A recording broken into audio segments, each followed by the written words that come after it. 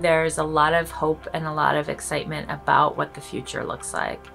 We have a number of EGFR drugs in our armamentarium now, EGFR inhibitors that are um, being developed by various companies and various scientists.